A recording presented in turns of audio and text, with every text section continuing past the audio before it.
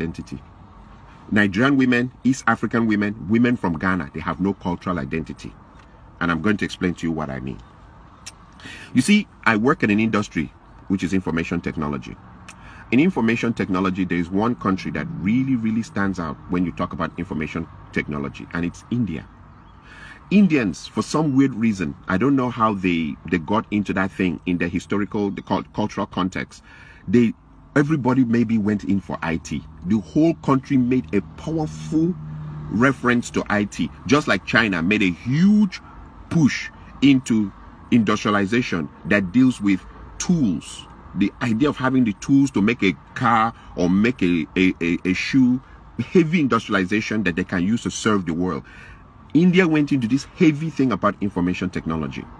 In my 12 years of working in information technology, everywhere I go, it's loaded with Indians. It's all, if the information technology, for example, um, if a place has maybe 20,000 workers, I'm talking about a huge place in which maybe 10,000 of their workers are engineers, software engineers, computer engineers, so and so forth.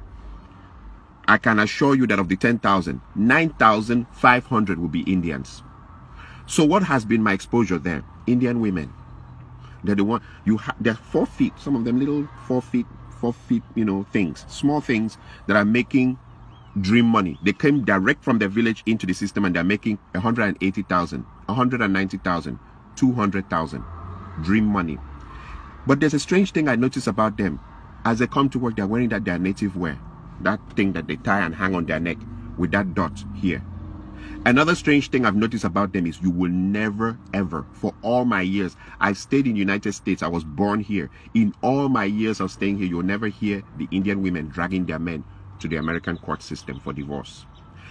It is our women that use the American court system to destroy our men. They bring the court in to help them destroy the men. You will never hear Indian women doing that thing. You will never hear women from China taking Chinese men into the American court system to destroy them with divorce. You will never hear women from Korea dragging their men in huge numbers into the American court system to destroy them. But when it comes to African women, East Africa, Nigeria, Ghana, when it comes to African women, they just drag their men into the court system. One of the things that I've noticed in this system or in this problem is poverty. Bring these Indian women, they're making 150,000, 180,000 they don't drag their men into court.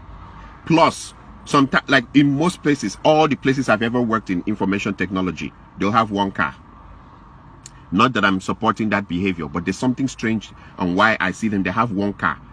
They wait for their husbands. Even if their husbands are working two hours overtime over their time, they'll wait. Some of them pregnant, waiting for their husbands. When it's finished, they go into the same car with their husband and drive home. I watch Indian women and women from so many other. They're not crazy about the Louis Vuitton. Gucci, all the designers wears. They are not even interested. Indian women, I meet them. They've been here 15 years, 20 years. They still keep their accent. They still speak as if they're living in India. But when I meet our women, and our women, all that they have to do is just get to a level of where they're making 50,000, 60,000, 70,000 or 80,000 a year. I'm talking about small money. Small money. Immediately the marriage is in danger. And they change. They start bleaching. And they start talking, sure, sure, yeah, sure, sure, sure, yeah, sure, yeah, I went, oh my God, I went to New York. And I'm like, even I who was born here, I don't speak like that. I look at others like the Chinese, they can't speak English very well, you know, and their women may be driving very expensive cars that belong to their husbands. And I look at the Indian women who don't speak English very well and they're not interested in changing their accent or their undertone. And they wear their native dress, that thing, and everything to work. I look at Korean women I look at other women, they have this sense of cultural identity. African women do not have a sense of cultural identity whatsoever. Little money and the marriage is over. One thing I've discovered, a common trend, once the women make, they go, nurse, 80,000 is all they need to make. And suddenly your, your marriage is in danger. They want to call the shots. They want to be the ones that control everything. And if you don't like it like that, they'll bring in the American courts to destroy your life, destroy everything around you. They will insult you. And I'm like, 80,000 is all that it takes for someone to change. Or 70,000. Because most of them, even the 80,000 is overtime. They've worked themselves Sunday, Saturday, Saturday night, Sunday nights. They've worked themselves to death. That money that they make as overtime is what is now changing into something that they will destroy everything around them. You know, this the part that I see also is that a lot of and I re remember whenever I make my videos, I refer to bitch ass men, bitch ass men. It has come to a point where we really can't define marriages in the African context anymore in the United States because the man is changing diapers, he's washing the plates, he's sweeping the floor, he's um cooking. Most men now have to cook to keep their marriages intact. Um, he's picking the kids and dropping them like in what like I, I like I've seen the experiences. I don't need to go far. I don't want to go to you know, but the woman is shouting at them, "Where's the child's belt? Where's the child's socks? Where's the child's everything?" And the women go around telling everybody, "We are partners." He's not. There's nothing like head of the household. We are partners. Okay. So the men are doing everything in the women's role, and also doing everything in their role, and they also keep their jobs. And that is supposed to be the perfect. Uh, if you don't do like that, they'll call American court on you this partner thing i've tried i've seen people try it and it leads to disaster like he says okay so since i'm the one doing the laundry and washing the plates and cooking the food. Can you help me change that bulb? No that's a man's job. Okay can you help me change the engine oil in the car? No that's a man's job. Okay can you help me paint the other? No it's a man's job. They the women are quick to tell you what's a man's job but you must do your job and do their job now and do their job and keep your job also in the society and come back and steal even there's no respect. You are you are supposed to be submissive or the marriage ends on your head and when you look into it she started making eighty thousand dollars and i compare that with the indian women who make 150,000 160,000 180,000 and don't forget this is india where they kill i mean a woman just saying no to the husband they start the honor killings the men are not romantical oh. they're hardcore they are very, very, when I, they are very, very hardcore. The way they order their families about and their women about. They are not romantic. They are not taking their women to Dubai. They are not buying Louis Vuitton and expensive perfumes and undies for their women. They are not doing any of that. And when they come to work, they're smelling of turmeric and all those things that they put in their food. Their men are the, their men don't spray. I mean, some of them, they come and I see the same jeans, the same shirt for years. But their women stick to them with the kind of money they're making. Even the Hispanic women, I look at them, their men are poor. I mean, they all cross from the desert now into this town. They cross from desert, enter this town. I've seen some real dirty, nasty Hispanic women with drop dead, gorgeous Hispanic women. The women don't leave their men. The same story. We crossed from the desert, came here together. We're sticking together to the bloody end. But when it comes to African women, all they need is just make a little money and they've turned the marriage upside down. And there are bitch ass men who will support that behavior. In fact, those women are more celebrated here than even married women. You see a man, if he wants to do his birthday party or his child dedication ceremony or burial or anything, he's inviting all the divorcees who threw their husbands out of the house. They have so much honor. In fact, so many people, people are calling them and congratulating them for throwing out their husbands out of the house. And sometimes when you go into investigation of why the men, the bitch ass men are supporting that is because there's a competition. Africans in America compete to the point of death here in America. Which car someone is driving, which kind of house someone is driving, which kind of job. That's why Africans, it's better you stay away from Africans here. So since everybody's competing, if the woman can turn her house upside down and destroy it, she's already done the job for the man's enemies out there. They are applauding her. They now call her for parties and call her to come and drink in their house. And then there's the part two um, when they throw their everything away, a, a clock starts ticking, a timing clock. Who is going to be the first guy to fuck her? Now that she's on her own, now that she's single, now that she's by herself. And it leads to a proverb from my area. There's this famous proverb from my area. They say that there's nothing as shameful as a big woman to uncover white hair for small boys to enter. White hair. Small boys will enter come back with just how they slap that ass, how they shaked it up, and how they run it around and stuff like that. And you'll be like, and in her mind, she's she's showing this attitude. She'll go onto her Facebook website right there as they as they as as um I'm too blessed to be depressed. Um, as they go lower, we go higher. Um, yep, we girls are flying higher. Hashtag liberated sisters. And then you wonder what is wrong with African women.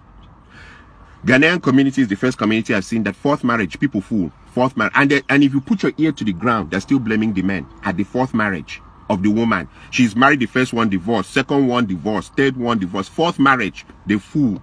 They, they drink, they chop chicken, everything. And they're blaming, they're talking about how the all the other three men, there's something wrong with them. that they were animals, that they were this and that. And you wonder, is it always the men that is the problem? Same with the East African women. They will divorce, three divorces, four. Somehow the story will be twisted. It's always the men's fault. And she's marrying. She can marry up to seven times. Nobody knows what's going on. I am saying this because too many men's lives have been destroyed because of people who think they are in America. This America thing. Okay, I normally ask this simple question. What if a man became very rich and he had a house in America and he had a house in Canada and he had a house in Germany and he had a house in Japan. He had houses all over the place. What happens there? Is it going to be that as you bring a Nigerian or a Ghanaian or an East African woman to your house in America, she acts American? Then when you cross her over to the house in Canada, she now acts like she's Canadian. And then when you cross her over to the house in Germany, she now acts like she's German. And then when you take her over to Japan, she now acts Japanese Hong Kong, Kung Fu, Japanese Kung Fu, Shinto-kan, you know? What is it like? Do African women have cultural identity? Do they have any cultural identity? Do they have any loyalty in them as human beings? Do they? Or they're just moved by every wind of doctrine, every wind of thinking. And the hypocrisy, like I said, is now a lot of marriages, the men are the ones doing the women's roles, their roles, and keeping their jobs. All that to keep a man. And you see the men still coming, they come out with a big agbada and turn it and throw it up and stand and say, hey, I want to thank my wonderful wife. I don't want a marriage for the sake of what it looks like in the public. I want to be happy about it inside in my life. The show of that out there in the public, it looks good. But meanwhile, back home, I'm swallowing um, Percocet. I'm swallowing high blood pressure medicine. I'm swallowing all kinds of things to stay alive because I want to show people that I kept my marriage going. It's crap. It's bullshit. And that's for bitch ass men.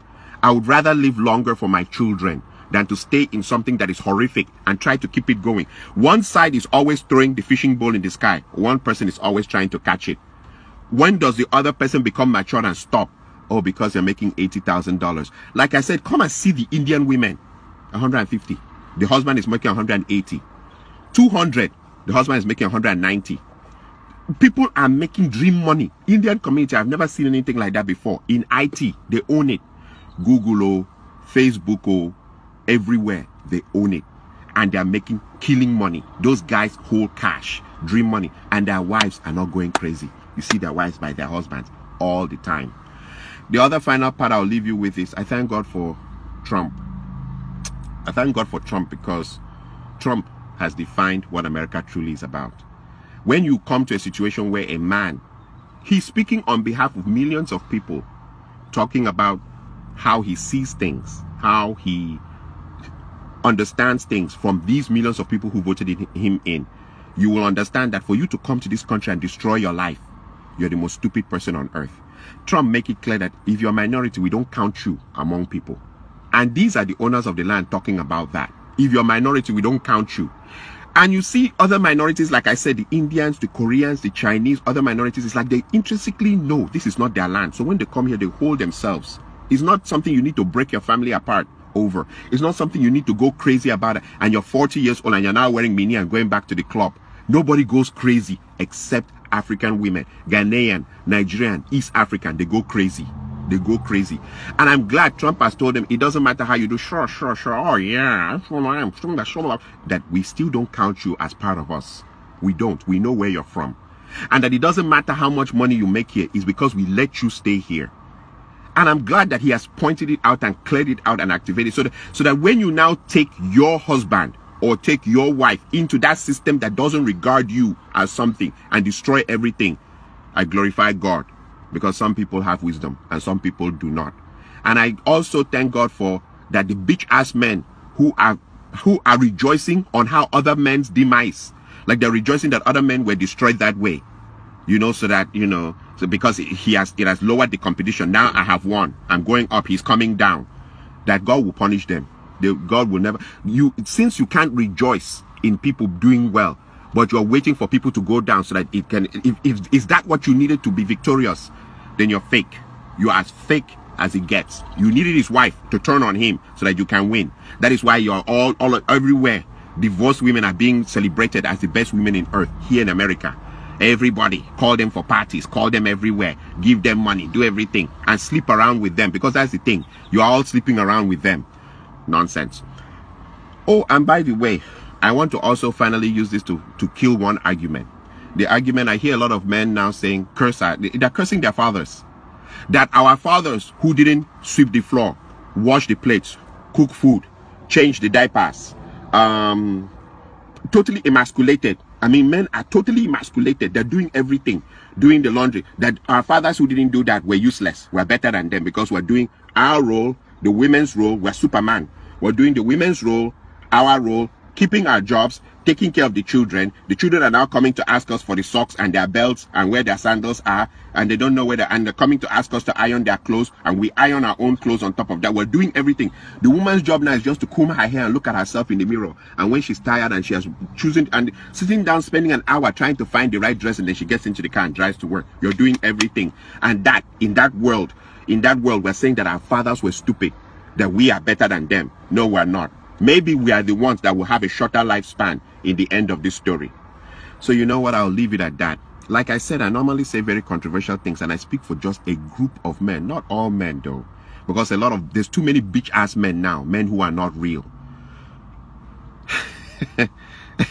I know how the reaction will be here. You guys can come in and insult me and talk whatever you want to talk. But I've put my point down. African women have no cultural identity. And I think their background of poverty has made them that when they see small money, they lose control of themselves. Thank you.